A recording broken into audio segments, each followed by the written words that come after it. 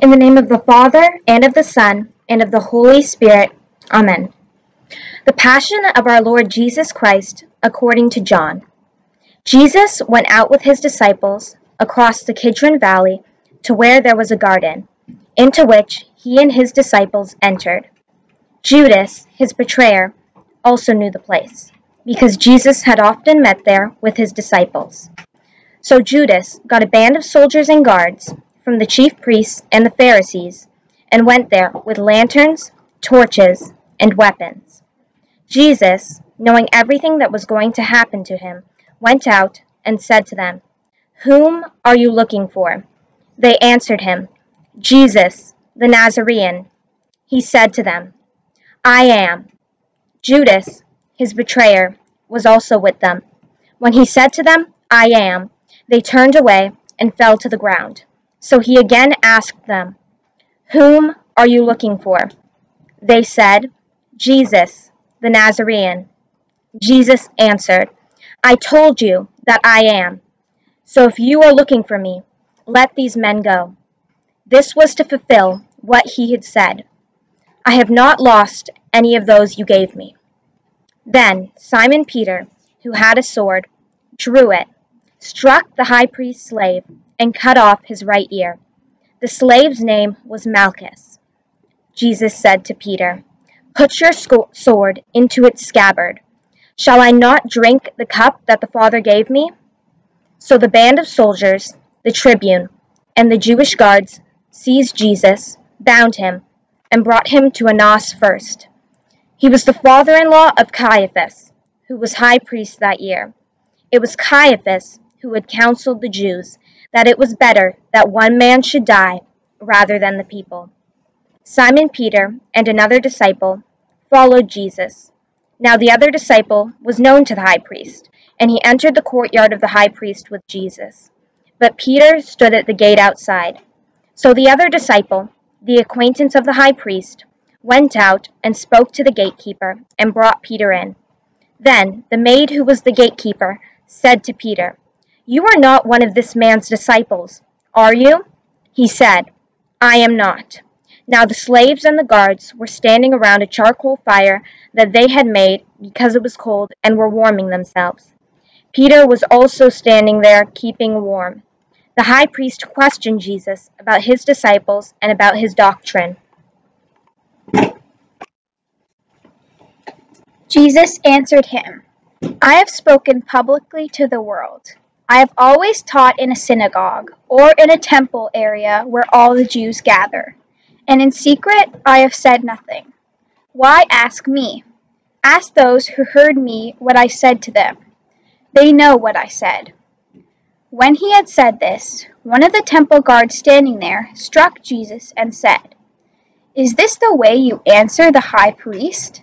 Jesus answered him, If I have spoken wrongly, testify to the wrong. But if I have spoken rightly, why do you strike me? Then Annas sent him bound to Caiaphas the high priest. Now Simon Peter was standing there keeping warm, and they said to him, You are not one of his disciples, are you? He denied it and said, I am not. One of the slaves of the high priest, a relative of those of the one whose ear Peter had cut off, said, Didn't I see you in the garden with him? Again, Peter denied it, and immediately the cock crowed. Then, when they brought Jesus from Cai- then they brought Jesus from Caiaphas to the praetorium. It was morning, and they themselves did not enter the praetorium in order to to not be defiled so that they could eat Passover. So Pilate came out to them and said, What charge do you bring against this man? They answered and said to him, If he were not a criminal, we would not have handed him over to you. At this, Pilate said to them, Take him yourselves and judge him according to your law. The Jews answered him, we do not have the right to execute anyone. In order that the word of Jesus might be fulfilled, that he said, indicating the kind of death he would die, So Pilate went back into the praetorium and summoned Jesus and said to him, Are you the king of the Jews? Jesus answered, Do you say this on your own, or have others told you about me? Pilate answered, I am not a Jew, am I? Your own nation and chief and the chief priests handed you over to me. What have you done? Jesus answered, answered, My kingdom does not belong to this world. If my kingdom did belong to this world, my attendants would be fighting to keep me from being handed over to the Jews. But as it is, my kingdom is not here. So Pilate said to them, him, Then you are a king? Jesus answered, You say I am a king. For this I was born, and for this I came into the world, to testify the truth. Everyone who belongs to the truth listens to my voice. Pilate said to him, What is truth?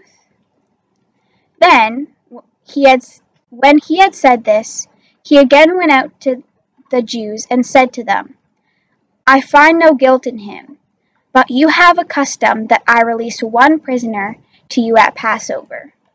Do you want me to release the king of the Jews? They cried out again, Not this one, but Barabbas. Barabbas was a revolutionary.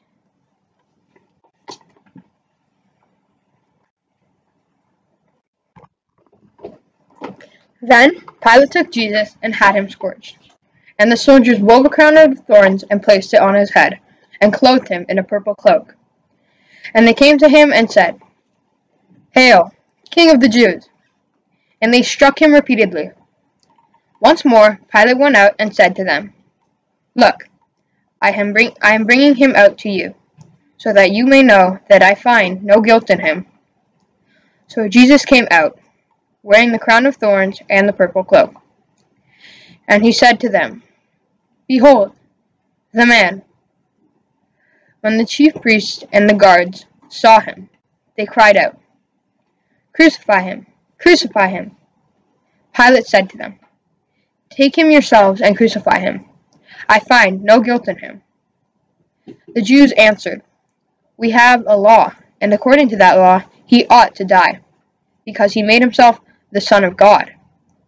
Now, when Pilate heard this statement, he became even more afraid, and went back into the praetorium and said to Jesus, Where are you from?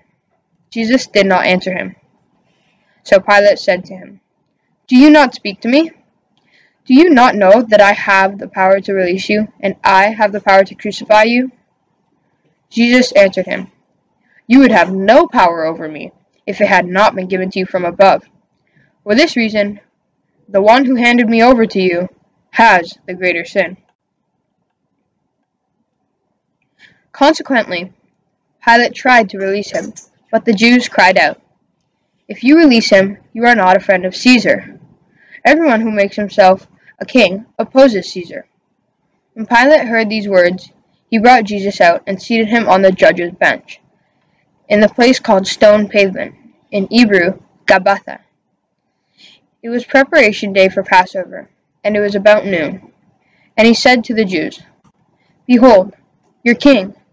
They cried out, Take him away, take him away, crucify him. Pilate said to them, Shall I crucify your king? The chief priests answered, We have no king but Caesar. Then he handed him over to them to be crucified. So they took Jesus, and carrying the cross himself, he went out to what is called the place of the skull, in Hebrew, Golgotha. There they crucified him, and with him two others, one on either side, with Jesus in the middle. Pilate also had an inscription written and put on the cross.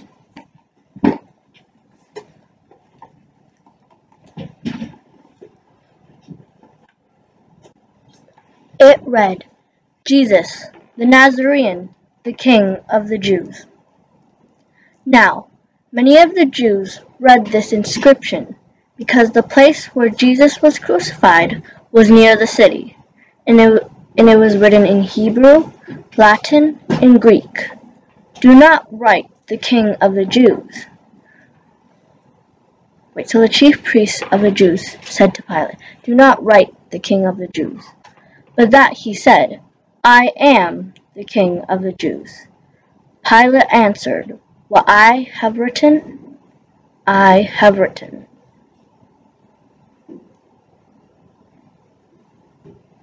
When the soldiers had crucified Jesus, they took his clothes and divided them into four shares, a share for each soldier. They also took his tunic, but the tunic was seamless, woven in one piece from the top down. So they said to one another, Let's not tear it, but cast lots for it to see whose it will be, in order that the passage of the Scripture might be fulfilled that says, They divide my garments among them, and for my vestures they cast lots. This is what the soldiers did.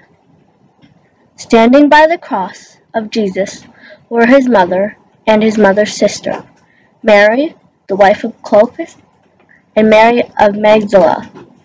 When Jesus saw his mother and the disciple there whom he loved, he said to his mother, Woman, behold your son. Then he said to the, the disciple, Behold your mother. And from that hour the disciple took her into his home. After this, aware that everything was now finished, in order that the scripture might be fulfilled, Jesus said, I thirst.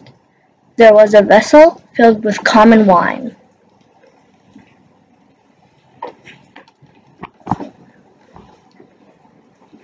So they put a sponge soaked in wine on a sprig of hyssop and put it up to his mouth. When Jesus had taken the wine, he said, It is finished. And bowing his head, he handed over the spirit and died.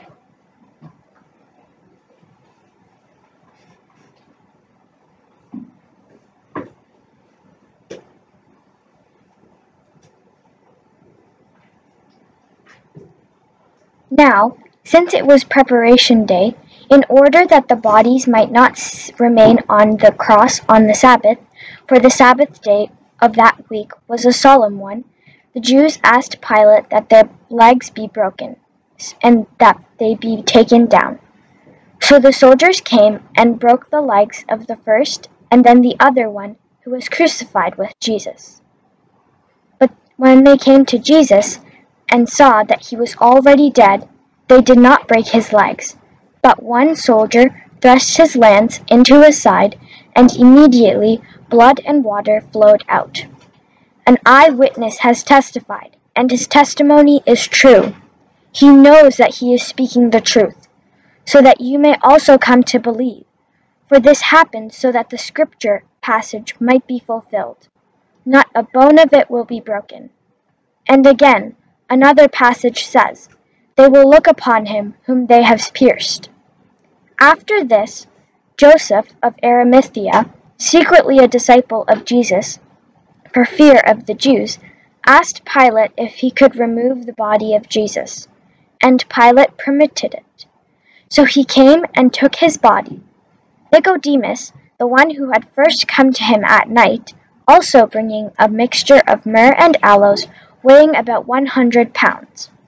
They took the body of Jesus and bound it with burial cloths along, the, along with the spices, according to the Jewish burial custom. Now, in the place where he had been crucified, there was a garden, and in the garden a new tomb, in which no one had yet been buried. So they laid the, Jesus, the, so they laid Jesus there because of the Jewish preparation day for the tomb was close by. Saint Edward, pray for us. In the name of the Father, and the Son, and of the Holy Spirit. Amen.